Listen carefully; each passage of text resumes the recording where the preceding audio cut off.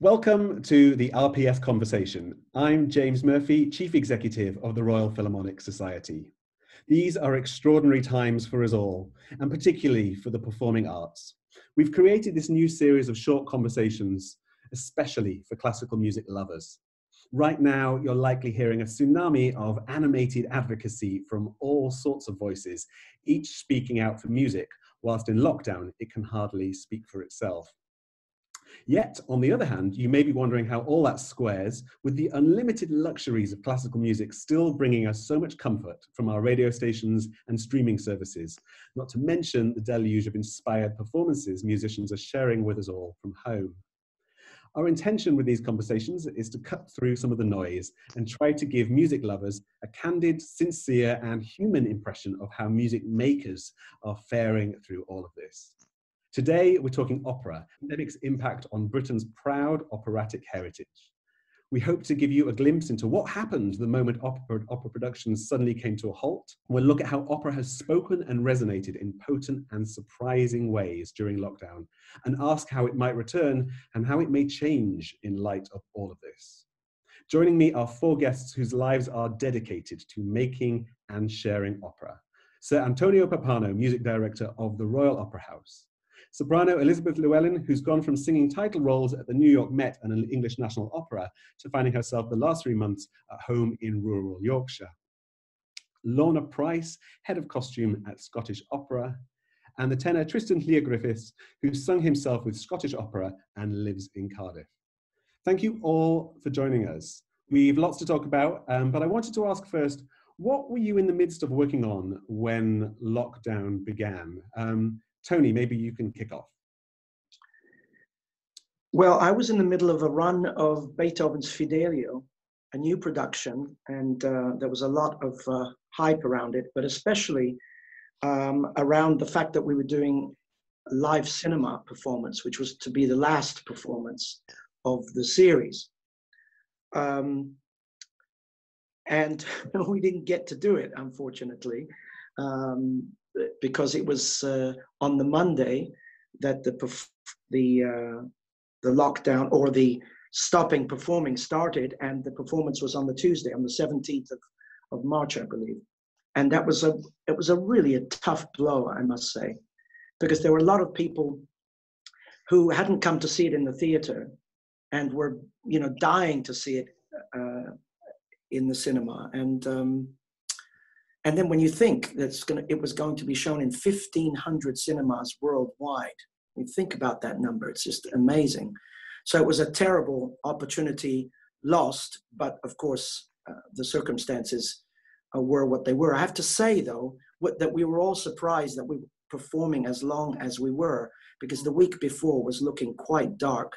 I actually finished performing myself on the Sunday um, with the LSO. I did a concert and I finished with um, Vaughan Williams' uh, Sixth Symphony, which has a very, very disturbing and unusual final movement, which is all in pianissimo and very post, shall we say, post Holocaust, post uh, terrible happening, and it's it's extremely desolate, and it kind of set the tone for what was to come.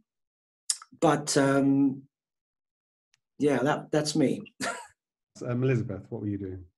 Uh, I was in Germany actually in the middle of a run of Aida, and it was a bit Verdi-tastic because I just finished Luisa Miller and flown back to Germany to uh, sing one performance of Aida, and then the following week we were meant to be having um, rehearsals for the Verdi Requiem and doing two performances of the Verdi Requiem and then another performance of Aida. And I think we no, we didn't have the Generalprobe. We um, uh, that was when we uh, were called to a general meeting, and every we're told that everything was shutting down. All schools, venues, restaurants, everything would be closed, and I had to from that meeting uh, find a flight back to the UK uh, early the next morning. Um, so you never got to do the first night.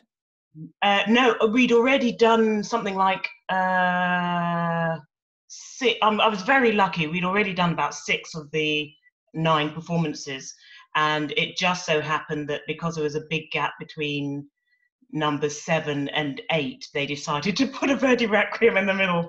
Um, pretty much with the with the cast, we had um, our Amneris and you know Radames and things. So we we had we had the soloists to do it. Um, uh, we just didn't. We we had wonderful rehearsals of the Verdi Requiem up until that day, that Thursday, uh, and then Thursday evening. Well, Thursday the General Probe was cancelled, and um, we were called to a meeting. And then on Friday morning, first thing, I was on a flight home. uh, so it was all very odd, and I, I know that they were grieving because they were really looking forward to it. The Aida had been sold out, the, therefore the Verdi Requiems were also sold out. Um, and uh, everyone was singing their A game, so we were really excited. And then it didn't happen, um, and everyone had to go home literally. Trystan, I think you were you just started a run. You did one performance, was it? Yeah, we just done the premiere of Alcina out in uh, out with National Opera de, de Lorraine in Nancy. Um, we've done the opening night on the Wednesday, and I think on the Thursday, on the Friday morning, Macron had done a speech. I think, which meant like you were you weren't allowed to have more than was it hundred people in the audience. So that took it out of everybody's hands. Then, so all the rest of the other performances was cancelled, unfortunately. So spending six weeks out rehearsing um, a brand new opera uh, and then only getting to do one performance mm. was gutting feeling, really. But at least, at least we had one performance to to look back on. But uh, and yeah, so I I found a flight and came straight back to Cardiff then before um, anything more serious as locking down the country came into place. So um, I was lucky I got back in time. And how do you folks? Do you just step out of an opera? Is that possible? Um, do you just step out of character? Do you just? Is it just in your head, in your your ecosystem for days afterwards? Well, yeah, sp- well, spending six intense weeks, you know, uh, blocking blocking Alcina from, you know, from start to finish. It's it's in you for it's been in you for six weeks, and then it's not that easy to come out of it, you know, um, because there's still adrenaline in a way um, going around your body for well for me it was like at least two weeks i was thinking about it all the time and thinking oh what a shame we only got to do one performance mm. but um, we have to look at the bigger picture really and um, it was for the best um, and well hopefully it'll clear up soon but doesn't look likely at the moment and and Lorna, it's not just the musicians who are invested a lot. Where were you? What were you in the middle of? Um, yeah, well, we were actually in a um, in the middle of a, a, really busy season. We'd had um, we just finished Nixon in China, um, which was a fabulous production, and we had um, Midsummer Night's Dream, which was about to go into the theatre. Um, and we, we were going to do it to a dress dress rehearsal, but even that got cancelled in the end. And then um, in the wardrobe, we were actually uh, a week away from costume fittings for our principal singers for uh, production of um, gondoliers. Um, so, and that was all 18th century costumes. So these these were huge, huge costumes. You know, really big panniers and stays, big, big production. Um, so yeah, we just suddenly had to stop. We didn't even get we didn't get to to fit anything at all. Um, which was gutting because you know I started buying fabrics for this back in November, um, and my team had been working on it for you know uh, four or five months. So um, it was a shame. It's a real shame. Are there just are there just sewing machines left um, with, with with costumes in them? Do these things? No, no, no. They gave us a, a, couple of days to clear up. And actually, when when when we actually first finished, um, we were thinking that we could actually take stuff home. So quite a lot of stuff came home, and because it, it was before the whole furlough thing, um, so we were um, making bits and pieces, still finishing off bits of trim, just in case, you know, that we actually did get back within the next six weeks. Um, uh, but clearly that didn't happen. So no, we we, we had a, a good tidy up, um, but it's it was just a shame. It's such a shame. So I wanted to ask each of you, what, how do people with opera truly in their blood, like yourselves, how do you continue finding a way to be operatic in lockdown, or do you simply not? Um, how have any of you been able to do that? what have you found yourselves doing?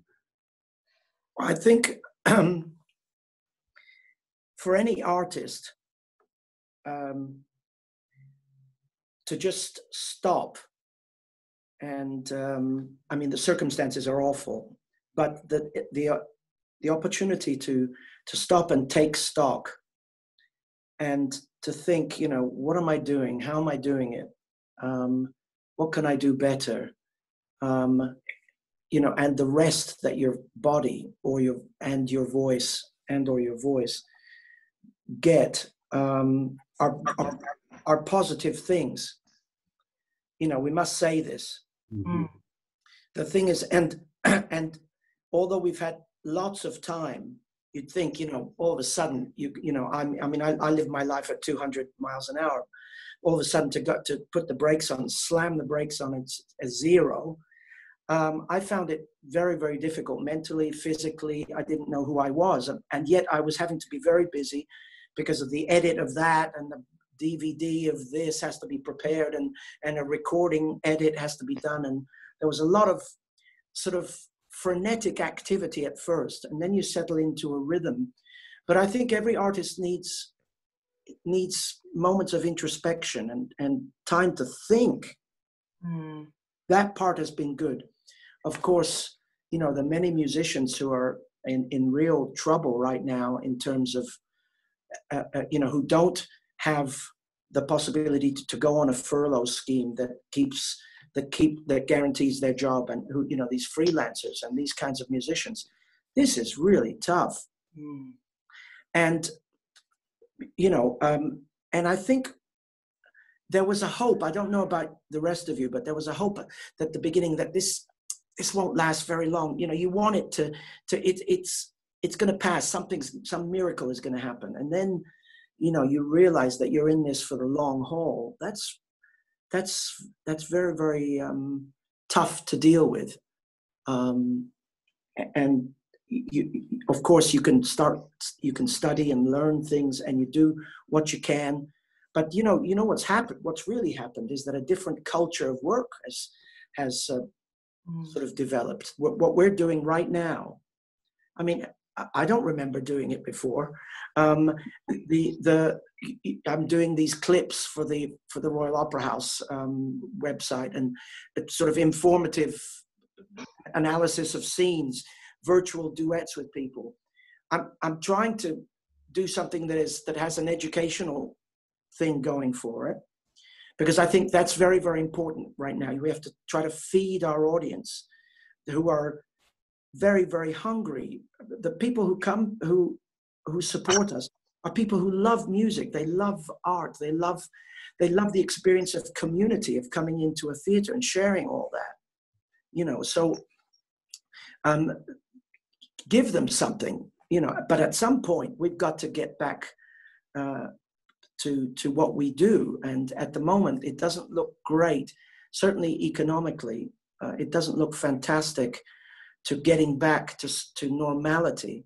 And all normality will be based on whether the government uh, comes through and gives us a lifeline so that we can survive through the period through December, I would say.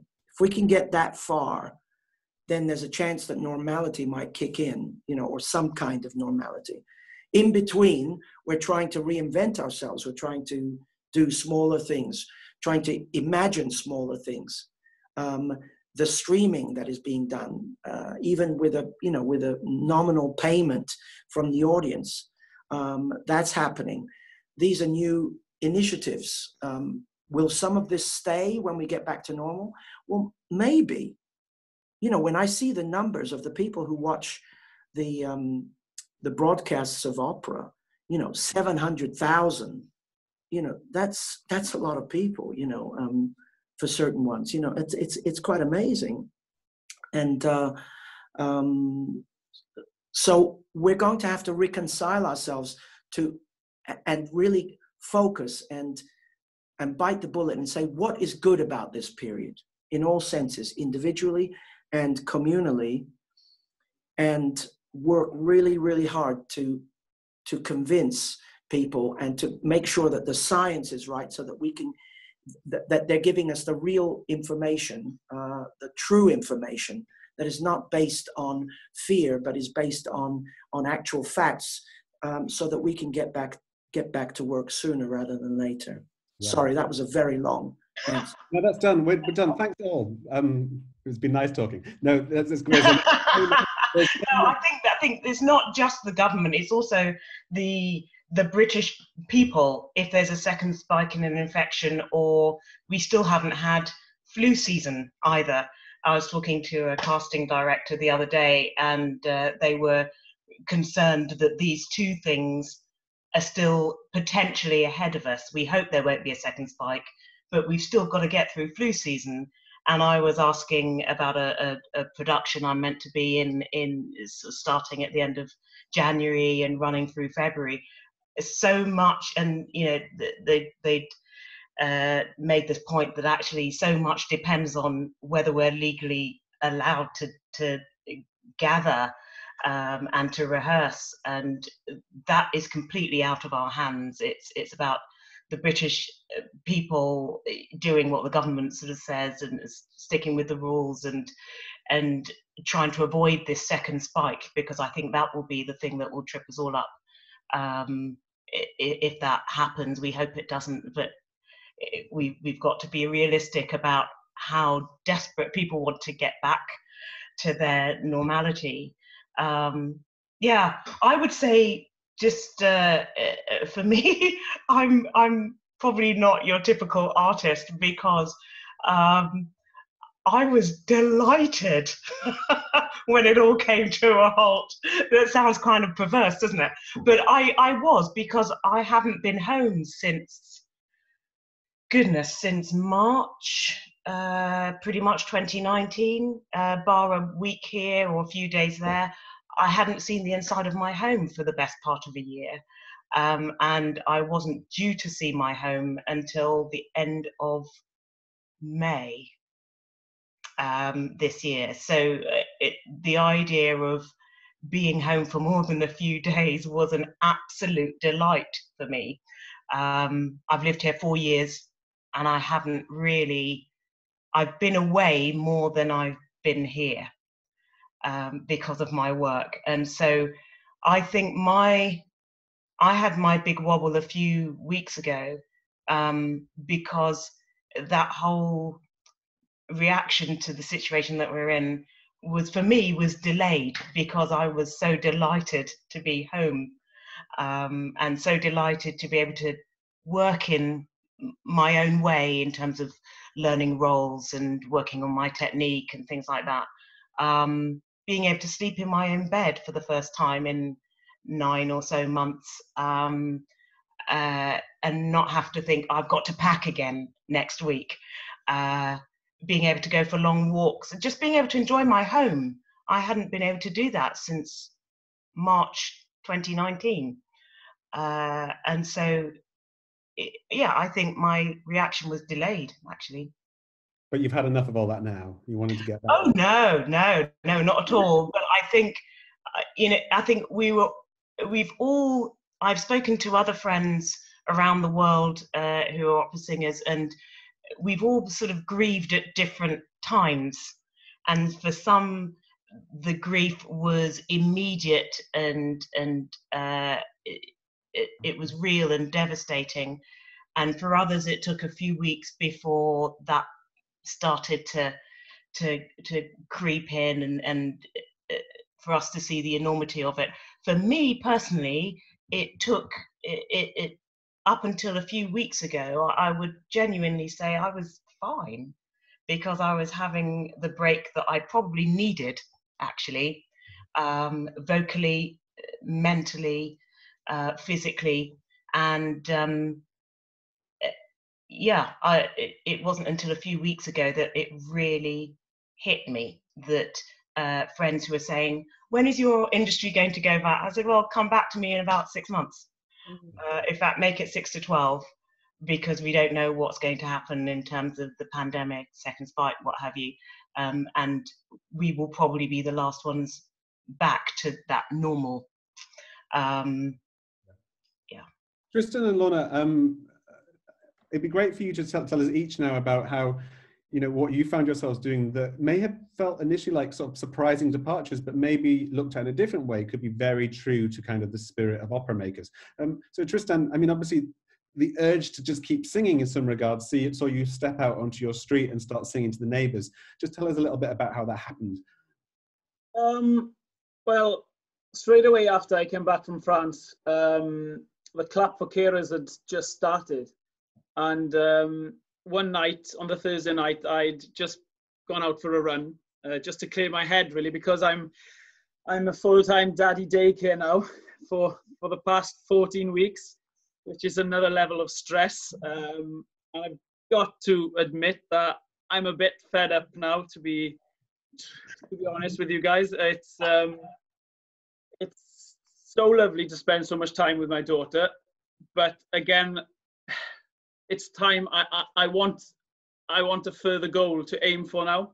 I was clinging on to my last contract um, that was supposed to be up with Scottish Opera now, singing Ottavio in Giovanni, but last week that got cancelled. So um, so that kind of that's where my heart kind of sank a bit because I didn't have anything else past that. So um, yeah, but coming back and going out for a run to clear my head um, one night, and then the clap for carers had begun. So um, the clapping had started, and then my wife and my next door neighbour kind of knew I'd just come back from singing from in France, and they said, "Go on, give us a verse of, of something."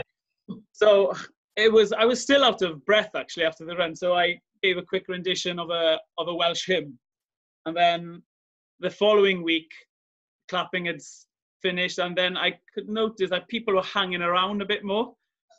And then this wasn't planned at all. And then every week I kind of sang something then every week. So it varied from Welsh hymns to stuff like O Sole Mio and popular stuff like that then. So um, it kind of went a bit crazy really. I love this sense of kind of like you know opera can't help itself. It's it, it, it's like a this kind of entity that needs to find its audience one way or another. It needs to get out there and and and, and meet the community. Um, yeah. Well, personally, personally, it kind of gave me a goal for the week because everything had stopped for me apart from looking after my daughter. And then on a Thursday night, it kind of gave me a kind of a bit of an excitement it led up to a Thursday night. Like, oh, I'm having that feeling again of uh, the feeling you get when you when you actually perform.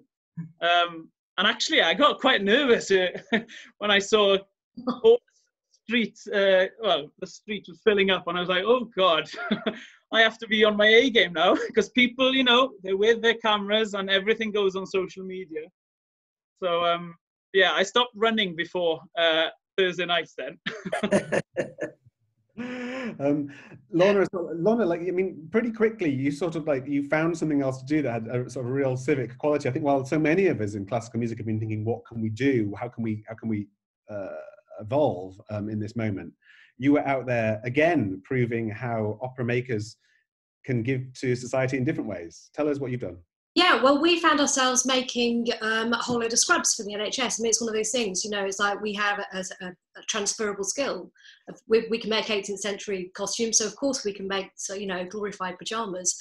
Um, so um, yeah, it was actually um, our tailor, um, Ali Curry, who'd seen a Facebook page um, from a group called For the Love of Scrubs. I think there's been lots all over the country. Um, and uh, all of the, um, I, have, I, have, a lot of contract um, workers and they were all signing up for this group. And uh, i was looking at the emails thinking well actually you know it'll be much more effective because i am a bossy britches micromanager if i um, actually get in contact with the company and go into work and use the workspace and uh, have three cutters just cutting. And then we you know deliver them all off to our makers who are all working at home um, so uh, I got in contact with the company and they said, yes, absolutely, we can let you in a couple of days a week. And then I think it's, I think we ended up with 2,200 kilometers um, fabric, not, not kilometers, no, meters of fabric, get that right, Lorna, otherwise it is a hell of a lot. Um, but yeah, I mean, that's, it was a lot. We made uh, 820 sets in about four or five weeks um, of scrubs for the NHS. Um, and actually last last weekend I had a lovely letter from uh, the Royal Infirmary in Glasgow from the um, ICU and just saying thank you so much for supporting us. So it was a great thing to do. It was really worth it. Um, but it wasn't actually just the costume department. Um, Marion Colloon in, uh, in our props department, uh, who's the head of props, she also got all of the other people who were in our technical um, uh, uh, production uh, facility, um, all the people who, don't sew, and they were making face shields. Mm. Um, and they made just over 9,000 face shields. So basically, our the whole of Scottish Opera were, were, you know, just doing what we do best, which is making stuff and actually solving problems.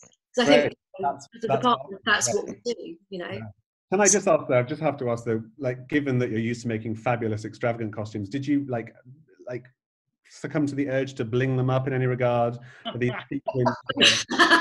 uh, no, we would. We, to be honest with you, we were working a bit too fast. We put a nice little um, one of our, our labels in there, of, of, course, so that whoever was wearing them knew that we'd made them. Um, but uh, no, you couldn't really. There were there were such specific standards that they had to be made to. I mean, even the actual the the weight of the cloth that was used, the NHS are really quite specific. Um, that it has to be 195 GSM, um, otherwise it's too lightweight. So, uh, yeah, it would have been nice to have, popped a few sequins on. Not that you get many of those not. no, we didn't. what we what I think we're seeing here, though, is you know this, uh, despite the sort of the, the, the horrors of this moment, it, it, it's it's sort of helping recast opera. We've known the people in this conversation that opera has always you know had a lot to give to its community, and all the opera companies with which you work have thriving education departments and do great great things in that regard. But I mean, straight away, you know, going out and singing in the streets and getting that response.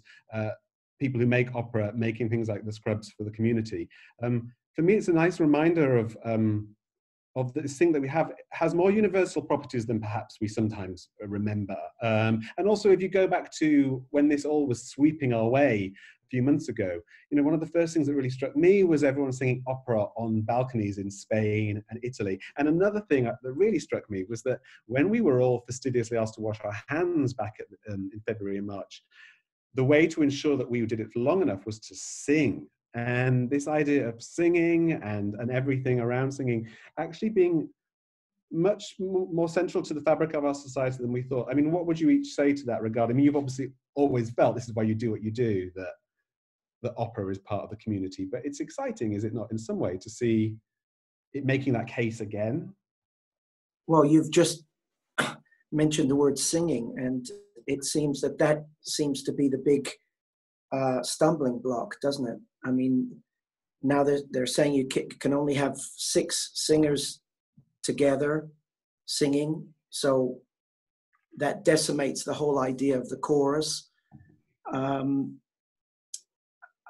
this is, it's not clear to me that the, uh, what the actual exposure is and what the droplets, the emission of droplets or some kind of spray for that. I hear different things. I mean, if you if you talk to people in in Germany or Austria, it's one thing. If you talk to people here, it's another thing.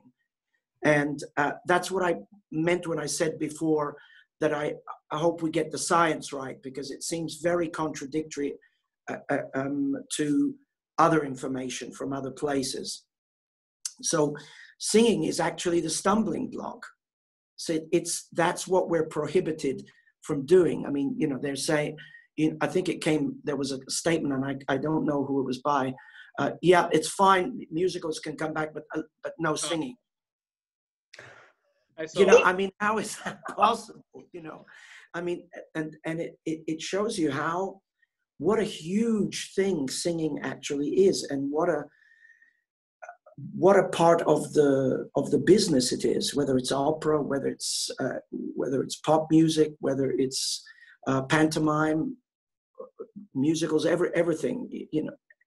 So that's that's also why we're paralyzed.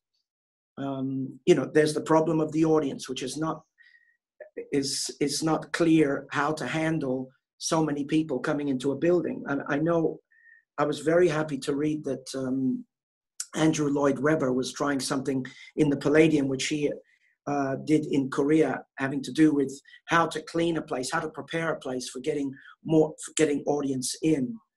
And um, I'm glad that somebody that high powered is really doing an experiment to to to push back against some of the vague or unclear or contradictory science that is out there. Mm. Uh, because just to say no singing, well, you know, then a whole um, industry, the music industry, will fall apart, and that has huge economic ramifications for a place like like London, but not only the main cities all over England where culture is um, England and uh, of course and, and the United Kingdom, um, where culture plays such an important part in the society. Mm-hmm. So we've got to sort that out, is what I'm saying, to get yeah. to get some real information that is not just about covering one's behind, you know, so as we, you, you know, so we've got to be seen to to be preparing for a second uh, outbreak of the of the COVID-19. Of course, that's a serious business, but you can also be very serious about how you try to tackle the problem. To just say we can't tackle the problem is unacceptable to me. Mm. And as Lorna already said, you know, in opera you're used to solving problems, and, and this particular problem um, needs help um, from beyond the opera community. Um, We've a lot more to talk about. Do stay with us as, as we look at some more of the stark realities that are facing opera right now and how it might get going again and what fresh opportunities the current crisis may present.